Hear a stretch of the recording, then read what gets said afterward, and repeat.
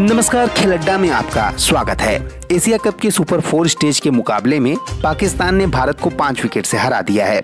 रविवार 4 सितंबर को हुए इस मैच में भारत ने एक सौ इक्यासी रनों का स्कोर बनाया था।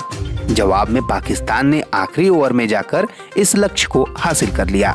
यह मैच रोमांचक के चरम पर था, जहाँ आखिरी तक किसी विजेता का मालूम पड़ना मुश्किल हो रहा था, लेकिन अंत में पाकिस्तान ने बाजी मार ली।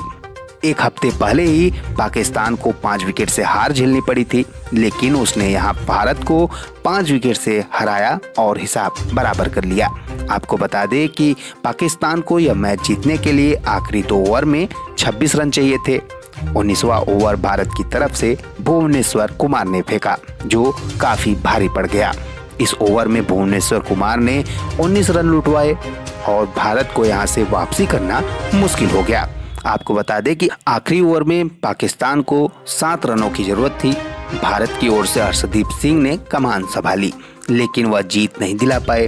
यहाँ एक विकेट भी मिला, लेकिन भारत के किसी काम नहीं आया। आपको बता दें कि टीम इंडिया के फास्ट बॉलर अर्शदीप सिंह ने रवि बिश्नोई की बॉल पर आसिफ अली का बेहद आसान कैच छोड़ दिया था। यह कैच छोड़ना ही भारी पड़ गया। अठारहवें ओवर की तीसरी बॉल पर आसिफ अली ने जब शॉट मारा, तब अर्शदीप के पास बॉल गई और उन्होंने बेहद ही लापरवाही से उसे पकड़ना चाहा, लेकिन वह कैच छूट गया। कैच छूटने के बाद आसिफ अली अगले ही ओवर में छक्का और चौका जड़ा।